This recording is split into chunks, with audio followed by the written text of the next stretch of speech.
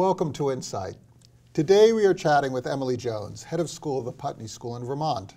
Founded in 1935, the Putney School is a co-educational boarding and day school for grades 9 through 12.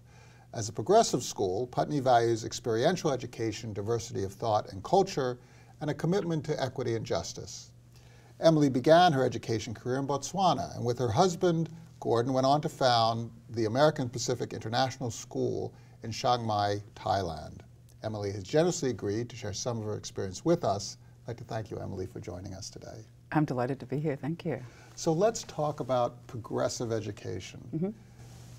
How is progressive education different than what most independent schools, in fact, most public mm -hmm. schools, teach today?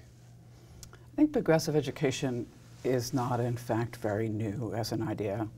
Um, I think we forget it periodically. It's very similar to what the ancient Greeks were doing and what was happening in the Renaissance, and it reappeared in the 1920s um, with John Dewey. I think the biggest difference theoretically is that it's, it's designed to be an education for democracy, for creation of citizens rather than for purely economic purposes. So it's not designed to create workers. And I think progressive students actually come out very employable, but that's not really the essential purpose of the, of the kind of education that we're doing. We're trying to create good citizens. So the whole idea of, of people coming from a diversity of backgrounds, mm -hmm. attitudes, personal habits, mm -hmm. and so on, going down this sort of assembly line of education mm and everybody coming out in a gray flannel suit and a, and a tie right. and so on, that is not what, what... That's not what we're trying to do. Um, we're trying to create a situation in which young people learn how to compromise, first of all, which is, seems to be a good plan these days. Um, they learn how communities work because they have to help run them. Most progressive schools have a lot of student involvement in the way the community runs. Putney has a great deal of that. So the students have responsibility for themselves, for each other, for making the systems work. And they're practicing those skills of, of being a citizen in a, in a democratic society, really. So describe Putney, describe the institution and the, and the physical layout mm. of, of, the, of the campus and how this might connect mm -hmm. to, to, to that objective. We've got about 500 acres on a hilltop in Vermont. Um, we have a working dairy farm as part of the campus, and a lot of vegetable gardens and um, other kinds of animals besides dairy cows. We produce about 20% of our own food there. And so the students learn all sorts of things from that. They learn how to be employed because every student has a job on campus. So they have a job. They, yeah. they, they work in, in terms of, of of cleaning, um, cooking, in, in terms of? They do all of that. They clean, they cook, they sit on the admissions committee to decide who gets to come. A couple of them sit on the board of trustees. They milk the cows at 6 o'clock in the morning. They shovel manure, um, look after the alpacas. You know, there's all sorts of different kinds of jobs that they have. And they rotate around. So they have three times a year, they have job training, so they learn new kinds of jobs. And it's not really that we think they're going to become farmers necessarily, some of them do, um, but they learn what it takes to get things done. It, they learn how to work together with a group of other people that they didn't necessarily choose at 6 o'clock in the morning to get up and milk cows with that group. Um, they learn the sort of time management pieces of actually doing all being on work. time and, and coordinating with right. your fellows and right. and, and uh, the, the whole work program at Putney is student run. So they also have to learn sort of labor management because some of them are crew bosses for other kids and there's a system of, of assigning jobs and a system of what happens if a kid doesn't show up. And so there's planning, there's time and, and, yeah. and, and, and right. budgeting. Right. Um, there is then rolling out that plan to your right. fellows and, right. and, and then going through that interactivity when right. somebody objects and they have a different idea. Right. And then dealing with the fact that things go wrong and you have to fix them and, and find solutions yourself. Is this an idealized environment, in, or, or is this a, a, an environment that is um, intensely practical, or is it both? I think it's very practical, um, and it's never ideal um, by definition. I mean, I tell the teachers, the faculty, that if things are going really well, it probably means adults are running them rather than teenagers. And because every time kids get really good at something, they graduate and we start over again. And that's Right. the whole point. Um, you know, sometimes people talk about, you know, there's Putney and then there's the real world out there.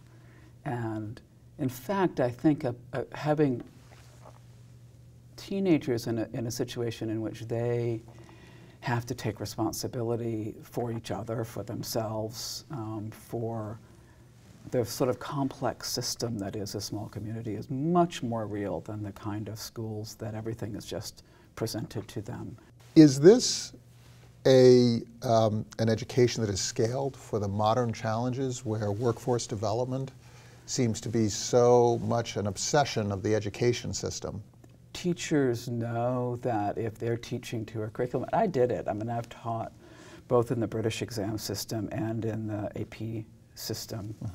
Um, and I got really good at getting kids really good grades, but they didn't really know very much and they didn't know how to do very much. And what we know is that the employers are complaining about the kids coming out of colleges not being very useful, and the colleges are complaining about the kids coming out of high school not knowing how to do anything. And yet, people seem to be, tra- the schools and colleges seem to be trapped in their own business models to some extent. Most teachers that I have talked to in schools of all sorts are trying to be more progressive than they're allowed to be because they understand that this is how students learn, that it's not about force feeding content, it's actually about a curriculum that requires the students to do the thinking. What's also interesting to me is, is when you look at the campus, you have um, some very low tech and very high tech elements of the campus. Right. Right. No, it's, it's intentional that we have some pieces of the campus that are quite um, the same as they were in 1935, and we have not modernized them in any way. And then we have a LEED platinum Net Zero Field House. Um, we want the students to understand that there are things about the environmental movement that say that we should reduce and reuse and go back to the old ways, which are correct. And there are ways in which the environment, environmental movement is saying we should move forward and use high tech, and those are correct. And I think the other piece is that when the school decided that we needed to build a new building, which we do not very often, we did not get involved in the sort of facilities arms race that a lot of schools are involved in. Um, there was a decision that it needed to be very green. And the decision came from the Wall Street people on the board who said we cannot saddle the Putney School with another building that uses fossil fuels. But even more powerfully, from people that were on the board that were saying that students of this generation are, are told so often that we have messed up the world for them and it's all hopeless and nothing is ever going to go right. And they wanted to build a symbol of hope for the students and a, a proof that you could do something well in the future, that it wasn't all negative. In terms of, of how your classes are shaped and how your, how your faculty um, is shaped, talk about um, that aspect of, of uh, cultivating a school where, the, um, where the faculty itself are carrying the values, but they also are coming from other places. Right. Uh, they have their own experiences, and now they're coming to a school that has a different approach, and they, they also have to learn and, and, and become one with, with that idea. They do. Um, I think one of the nice things about the hiring at Putney is that we don't teach the AP tests. We hire people that have the intellectual ability to help us design what high school should be, what a high school curriculum should be. So, probably on average, we get about 200 applications for every teaching job. So, we can hire really good people. And it's still a little bit of a stretch for some of them when they come to realize that they don't, we don't give them some of the weapons that other schools have. We don't give the students grades um, so that they don't get to say, if you do this, you'll get an A, right? they, they have to actually talk about what the kids are learning and what the point is of the learning itself, rather than using those kind of carrots and sticks that teachers are used to having. What is the role of, of creation, art, self-expression in that, in that constellation? I think it's huge. We have um, a big, big art program, which is not a sort of a sideline or a frill on the outside. Um, students take arts in the academic program, and they also have, um, every evening we run about 25 arts classes on campus that are not for grades, they're not for credits, they're just for students' experience of art um, and making art. And so a kid, by the time they've graduated, may have done 10 or a dozen different art skills. And we do have some of the more um, tech related. We do teach digital photography and filmmaking and that kind of stuff. But we do a lot of what we call slow art, um, which is stone carving and blacksmithing and things that really require you to slow you down. You have a full smithy, and, and uh, we do, and, and, and, you have welding stations, welding and, and all sorts of stuff. And the the sort of craftsmanship that students bring to that is wonderful because it's not all sort of instant, I'm going to do something and put it up on Facebook. Right? They can spend hours and days and months working on something. You're also teaching, doing things like teaching American history mm -hmm. uh, in, in such a way that you integrate um, uh, art, literature, mm -hmm. um, geography, mm -hmm. um, political history, economic history, right. by looking at, at themes. Right. We're trying to get out of the um, just the transmission of information. so the recitation of dates and, right. and names right. and so on and so forth. And so to have them see the outline of how things fit together through themes rather than um, everything just being a chronological list. Um, and we, we pull together the literature and the art and the history all into one class in the American Studies class. You have an incredible diversity of students mm -hmm. uh, on campus, mm -hmm. as well as a diversity of faculty. Mm -hmm. Talk about uh, where you draw your students from. Students come from all over the place, and we're often sort of surprised how they have found us. The internet seems to be a wonderful thing. We've got most years students from between 15 and 20 countries. And we've got you know, Panama and Bhutan and Tibet, as well as China and Japan and European countries, Mexico. And they often find us through word of mouth from other families and occasionally just literally come across us on the internet when they're looking for a school that's a little different from, from the standard ones. And what prompts them to, to seek that, those differences? It's hard to generalize, actually. One thing that we have noticed recently is that a surprising number of our parents are educators. We seem to be very well known now in the educational world. About a third of them, from what I can, can figure out, a third of our students have at least one parent that is either a college professor or an educator. Oh, that's interesting. And that seems to be true even among the international students. Um, so what we're doing resonates with people that are thinking about education. Um, and so we're hoping that that spreads out a little bit wider than that. I think there are people that themselves come from a more progressive background, are interested in progressive education at a theoretical level, and they bring their, their kids to look at Putney. And then there are people that really are much more traditional in, in, their own education and maybe with some of their other children, but they have a particular child that may be very creative or may be very interested in environmental studies or something. They're looking for something particular and they will find us. And how do the parents interact uh, with the school? Are they, do they participate um, on, uh, at a board level or, um, and, and, and how do you, how do you shape the board for that, for that matter, to ensure that the school is self-sustained? Right. Well, we have a board of trustees, which I think has 24 people on it at the moment. And interestingly, two of them are students who are fully um, voting members of the board. Two of them are faculty or staff. And the rest of them are a combination of alumni and parents. Although almost all the parents that have been on the board while I've been at Putney have been past parents rather than current parents.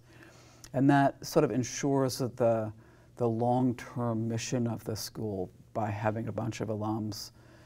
Because they're Putney alums, they're not the sort of alumni that want it all to stay the same because they're progressives by definition, but they understand what the, the underlying ethos of the place needs to be. But we also have parents, um, either current or past parents, because they really are looking at the specific experience of the students. But our Board of Trustees meets with the student body every time they meet. So they get what's going on at school. It's not this distant, unseen group right. of people. So, and it's it, it, it, has an emphasis on, on governance and mm -hmm. governance divisions right. and so on and so forth. So you right. don't have board members coming in and, and taking management role. No, it's, it's actually the board, um, it's a great board, a lot of expertise from a whole variety of, of fields bunch of really smart people, but they know what the board's role is, which is governance and strategic thinking the sort of 50-year plan as opposed to, you know, what's going on in chemistry class. And funding for the uh, for the school on a sustainable basis, um, how, do, how does your revenue uh, mix result in your being able to make ends meet year over year? Well, it's always a, it's always an adventure. Um, but no, we're, we're actually in reasonably good shape because unlike a lot of schools and colleges, we never went into debt. And so a lot of schools and universities have debt that's almost as much as their endowments. We're in good shape in that way. We certainly are trying to raise more endowment. One of the real commitments of the school is financial aid. Mm -hmm. And about 45% of our students are on financial aid, which is huge for a school that doesn't have a whole lot of money. Yeah. Um, and we're very committed to that. But we need to raise more endowment for that purpose than we have. And I'd like to pay the fa faculty better. I mean, all of those things it would be nice to, to have more money for. And, and so we're working on that as we go along. But we're in a much more solid position on a sort of a year-to-year basis because of not having borrowed a whole lot of money. So you've had a very interesting zigzagging career as well. How does somebody who starts off as an educator in Botswana yeah. uh, end up um, uh, running a school like Putney in Vermont?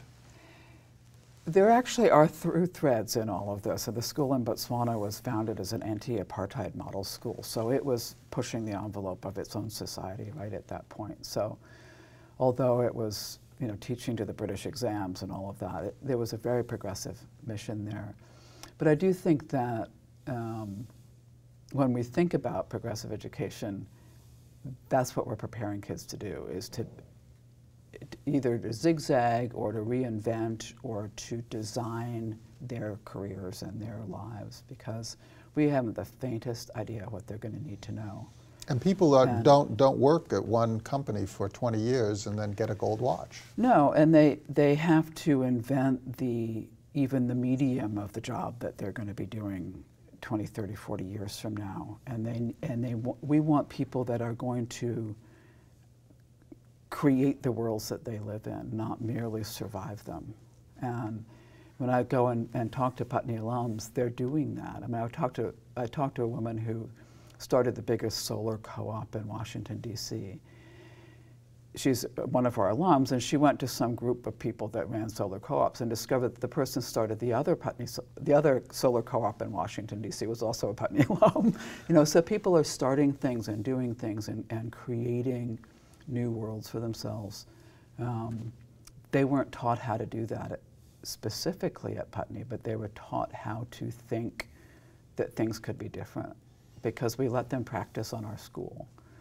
They, the kids learn if they want something to be different at the school, they've got to figure out how to make that happen and make a proposal and figure out what it will cost and who's going to be affected by it and who you have to talk into it and all of that sort of complex systems thinking. And that will allow them as they go into their working lives to be flexible and, and nimble and adaptable and, but also to create the solutions as well as just survive the problems that they encounter, I think. Emily Jones, thank you so much for well, sharing your you. experience at, at, Putney, and yeah. thank you for your insights. Okay. Thanks so much. Thanks.